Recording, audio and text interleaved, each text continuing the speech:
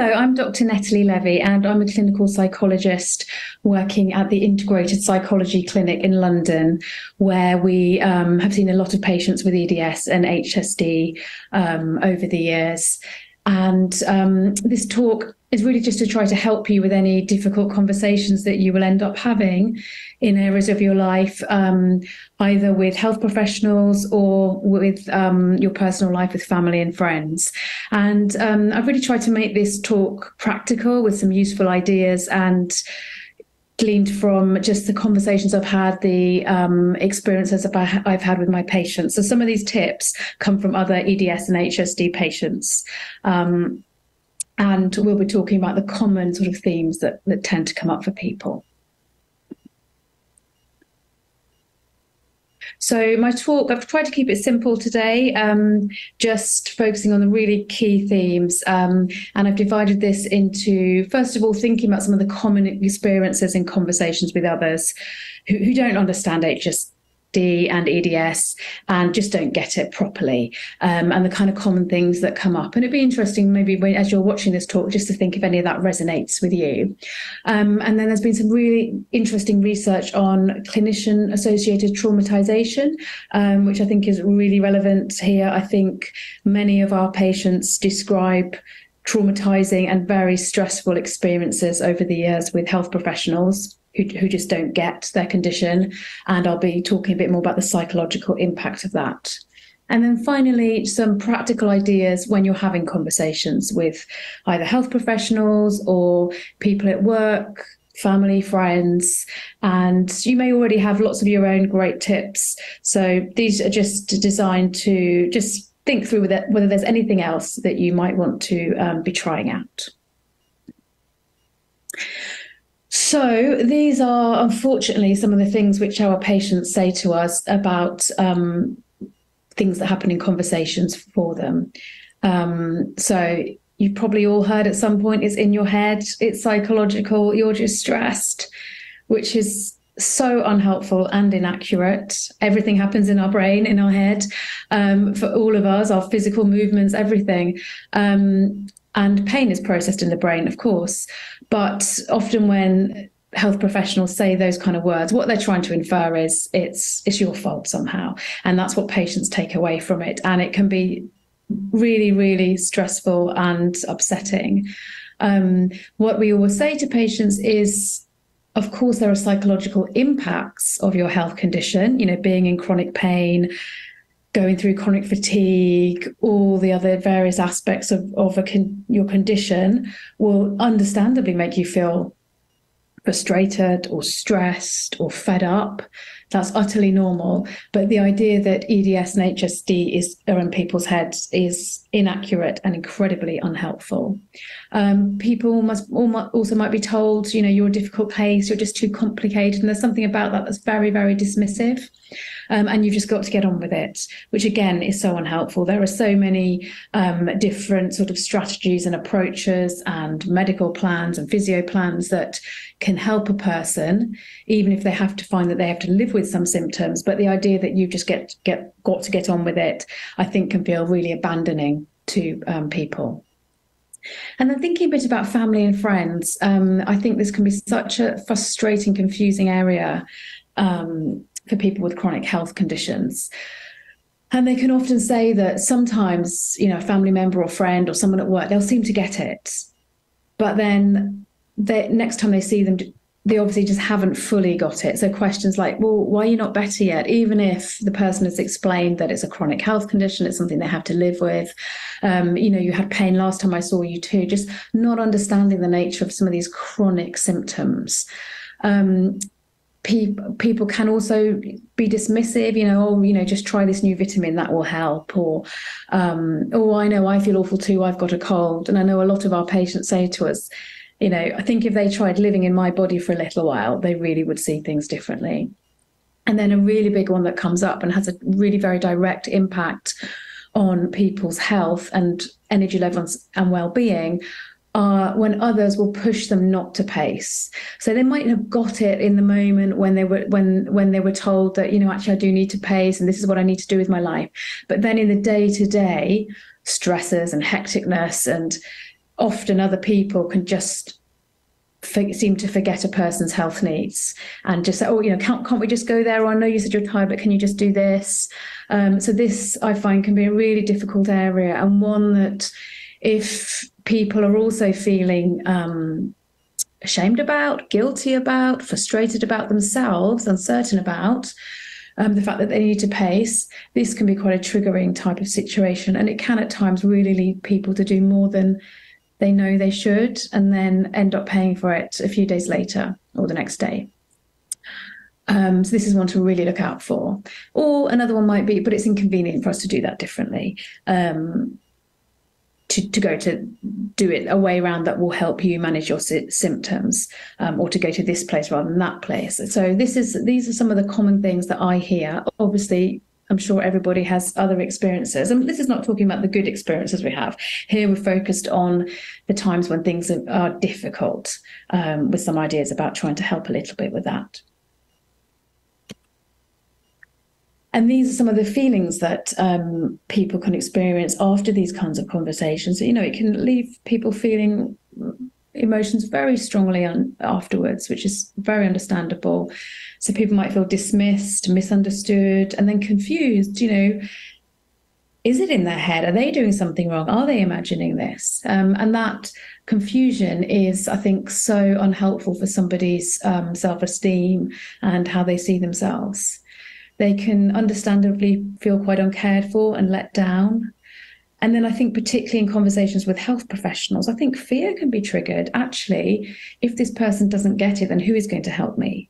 And what will that say about my future? So, feeling anxious, scared, helpless, and also understandable frustration, anger, just feeling under pressure to somehow fix this themselves without being given any answers. So, these are just some of the, the feelings people might have from negative conversations. Obviously, more helpful conversations would lead to someone feeling understood, thought about, um, in control, more certain, knowing um, knowing some things they can do to help, and also very very importantly, just generally supported and feeling like they have a team of people around them, health professionals, but also a wider team of people in their life who will be there for them throughout this uh, chronic condition. So there's been some really interesting um, research by Halverson Penwell and um, Clair Francomano um, looking at actually having difficult medical encounters with professionals who don't understand EDS or HSD can lead to traumatization.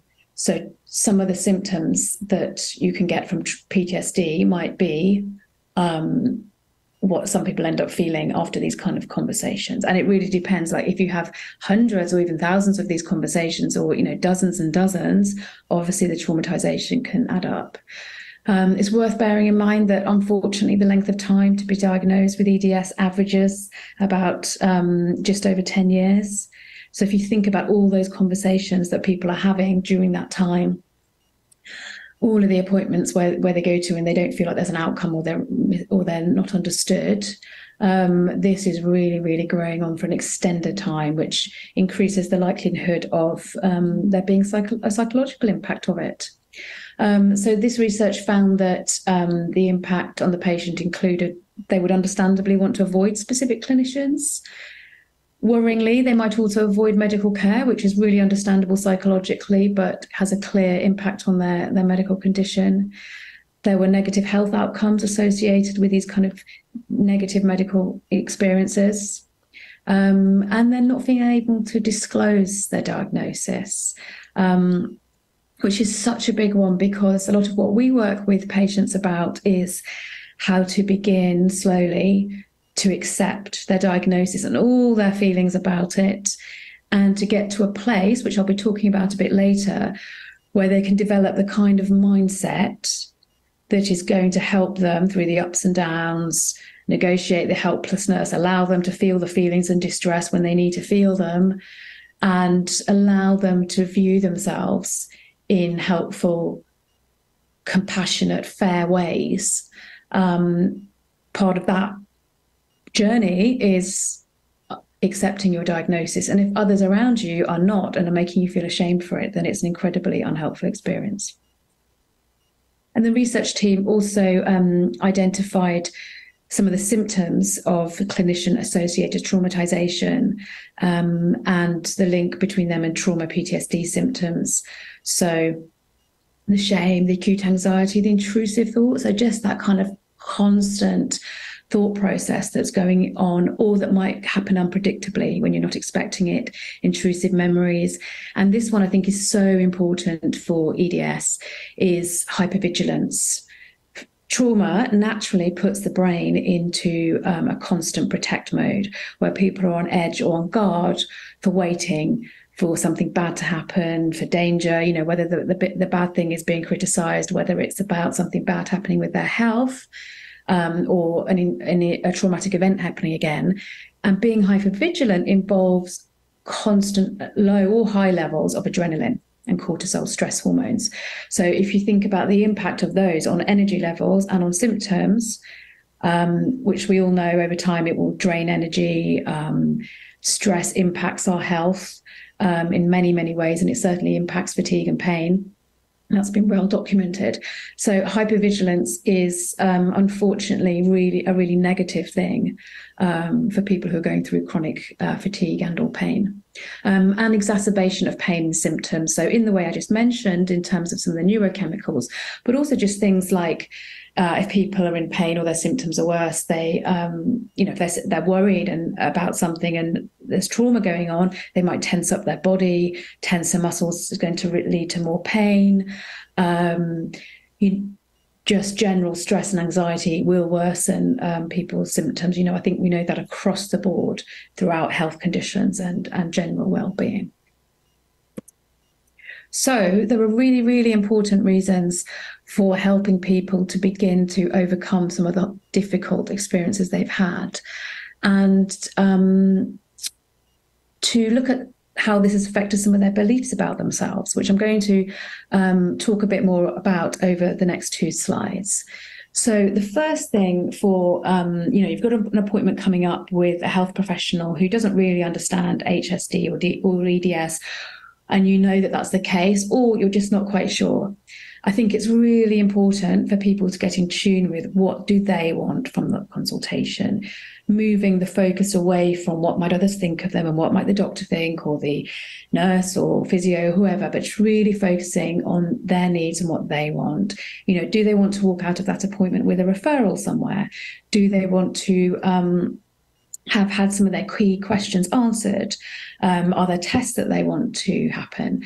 Um, so, really trying to get in touch with what you want, um, because I think when um, when people are in a situation where they feel quite helpless and where maybe health professionals make them feel helpless, it's even more important to to know what you need and what is going to be your focus within that appointment. Um, so, as part of this, it's really important to do some preparation beforehand in line with the, your goals for the consultation and to um, write yourself some just some bullet points, prompts. Probably, I would say nothing too long because you have to be able to look at it quickly in the consultation. Um, so, probably less is more, but just even like keywords to help you remember your questions. Um, and then, if it's in a consultation you're really quite nervous about or that you're really unsure about how to phrase things, sometimes people worry about upsetting or alienating their health team. Um, and I think there is definitely a way of um, preparing questions in an assertive way to, to, to, deliver in an assertive way. So you might want to role play with someone who you trust and who you feel gets it. Now, a big one to um, help with uh, getting you into a better place before the consultation is not ruminating or over preparing. And I'll talk through that a bit more. But the aim of it is if we're feeling stressed in a in a situation, stress will make our brain work faster, but in a sort of unhelpful way. It will it will be harder to think of questions, to retain answers, um, to uh, to communicate ourselves assertively in the way we want to. So it is utterly normal to feel nervous about going into an appointment, one that's really important and vital to your health and future. But we know that there are some things that will turn up the volume on that stress and end up making the appointment less likely to be helpful for you or more of a difficult experience. So, what we know from lots of, of research throughout psychology um, is rumination, which um, is Latin for chewing the cud, you know, a, a cow chewing the cud. And the idea is with rumination that we go over and over something that we don't actually have the answer to. Um, or we don't have any new answers to. And um, rumination is different to problem solving. Problem solving means we are trying to find solutions. We it takes us forward. Unfortunately, rumination, which we all do at various times, rumination takes us in a circle, a stuck circle, and um, research shows increases our anxiety levels. So if you're finding yourself going around the same things again and again, you're probably ruminating. I would say interrupt the process, recognize it's happening, write down your solutions, you know, problem solving mode. What are the things you're going to say or do? Or even what are the feelings going, you know, and thoughts going through your mind right now? Maybe just journal them. Um, somehow try to empty them out of your brain or put them externally onto a piece of paper, into a voice memo, whatever you need to do, telling somebody, and then really try to step back from ruminating, try to just focus your attention elsewhere. Um, something you might enjoy, something that you know will distract you. And over preparing, again, there's a balance. Having some preparation beforehand is can be really helpful to make you feel more in control in the consultation. But actually, over preparing, patients can often say when they have done that, they can't see the wood for the trees, they lose track of what they're going to focus on. Um, so I think less is more. Having your clear clear um, bullet points about your priorities and then stepping back trying to do something to switch off after that. Now the next point is also quite a big one. I referred earlier to um, thinking about the beliefs you might have developed for yourself um, maybe in part from some of these negative experiences with others around your health. And um, i think it's important to tune in to what you might be saying to yourself, what self talk is going on in your head. And if it's not that positive or very nice to yourself, is that the way you would talk to a friend with those kind of difficulties? So, really starting to think about what do you believe about yourself and your health issues and i can talk about that more in the in the next slide as well but trying to really be kind to yourself some people say it's too it feels too um, difficult to be kind sometimes. So i always say how can you be fair to yourself? What's realistic and fair about the way you talk to yourself? You've got a health condition that is no fault of yours in any way, despite some people in your life making you feel like it is. So, really tuning into your needs, what's fair, how to be compassionate if possible to yourself, what will help you, and um, maybe leaning on people who you can trust and who will help to empower you as well so that you can um, gain from that. And visualization, not everybody um, likes visualization. Some people love it. So these are just ideas that people can um, pick and choose from. And um, just having a think about could you visualize some of these things? Could you visualize yourself in the appointment, um, clearly articulating what you want to say with um, assertive body language? Um, could you visualize yourself leaving the room feeling empowered or having been given the referral you've asked for? Um, or maybe visualization would be a calm place that makes you feel safe that you might want to imagine when you're thinking about these things. So just just think whether any of these ideas might or might not be ha- helpful to you. Um, you might want to have someone there who gets it to come with you to the consultation. It can be um, really useful both for support, but also for um, them to help you remember some of the things. Um, research shows that we often remember less than 20% of what is said to us in a health consultation um, because of the way we're we're having to focus and because of the role of stress. So um, having someone else there for lots of ways can be really helpful, and they or you want to might want to make some brief notes. And I guess in the long term, it's about trying to really find professionals who you do trust and who listen to you, and that might as the, the data on the length of time to diagnosis showed, that might take a very long time. But I would say don't give up because they are out there, and hopefully they'll they'll be people you um, are listening to during this conference. But you do deserve a health team who understand you and who are there to support you. So just keep believing in that and keep looking for it if you haven't got it yet. Um, and then finally, you might just want to think about whether you have got any um, trauma related from some of these medical experiences, um, whether that's actual um, medical treatment or whether it's from consultations. Maybe have a think about some of the symptoms um, I mentioned of trauma, like hypervigilance, intrusive thoughts or memories, um, rumination, um, overthinking. These are just um, a few of the uh, common feelings people might have when there's trauma.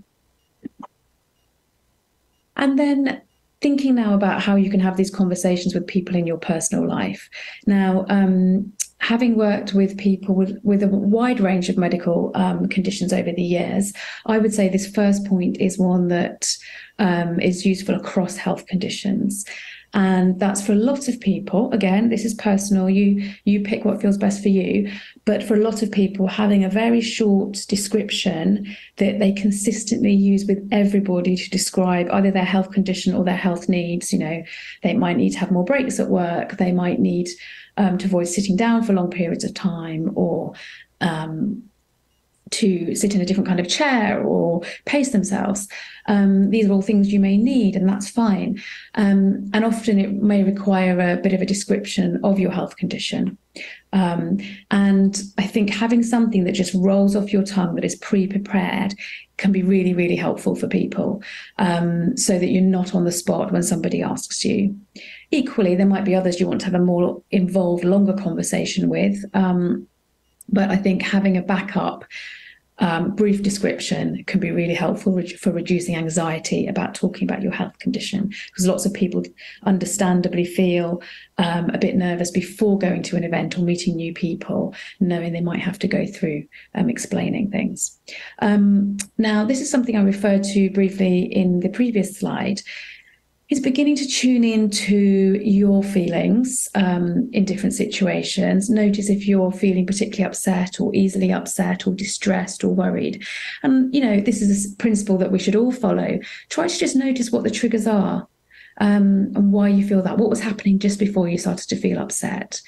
And within this, think about some of the appointments and also interactions with others in your life around health and just question whether this is also happening in a conversation you're having right now with somebody which actually might not be negative. It might be a neutral um, or even positive conversation. But maybe because of some of the things you've gone through in the past, you might be assuming things about what the other person's thinking. And that might lead you to feel quite upset or overwhelmed or frustrated or anxious in the conversation. So just have a think about what you're feeling, in a conversation if you're upset and think about what it's about. Is it about the impact of the past or is it about something that's going on right now with the other person?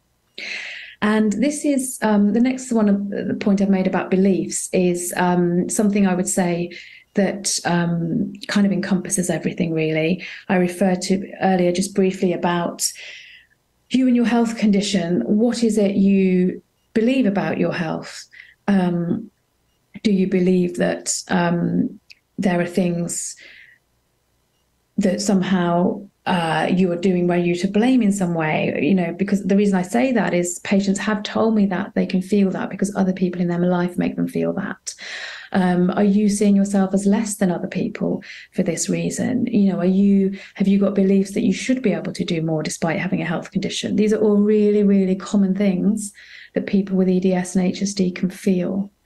Um, and I think again, it's it's what's recognizing some of those negative beliefs, knowing that they're around, knowing why they developed, and then thinking about what would be new, more helpful, and crucially fairer beliefs on yourself.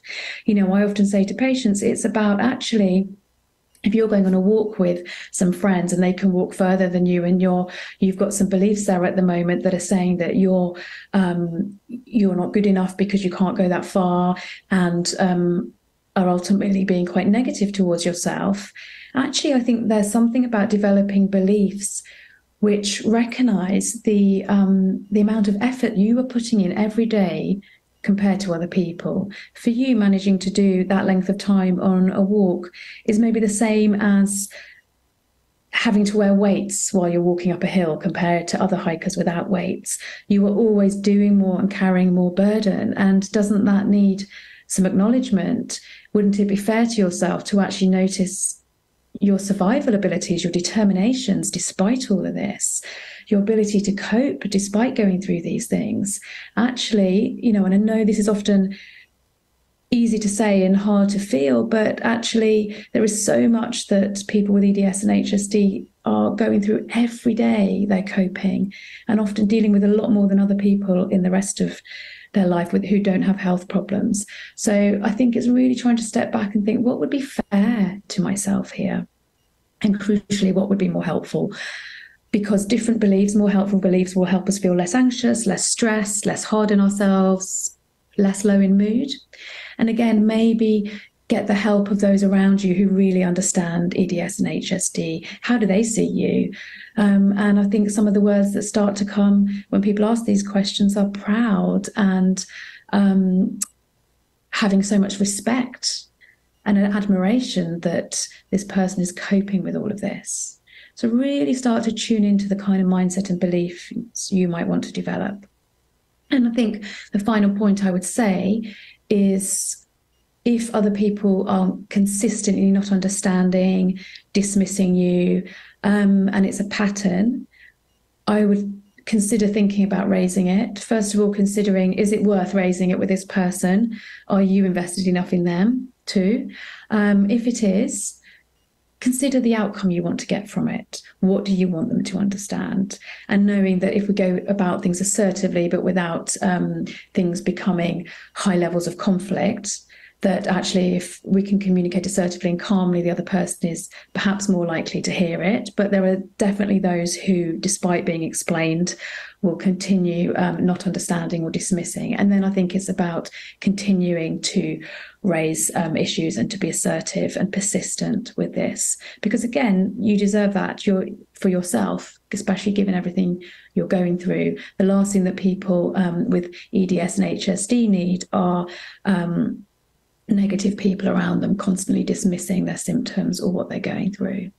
So that's the end of my um, talk. Thank you very much for listening. I would say that we're all different. So there might be different bits of that that apply to you and um, other ideas you might use.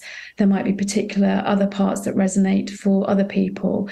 So um, just tune into what you need and um, think about how to uh, get what you want out of some of these conversations. Thanks very much.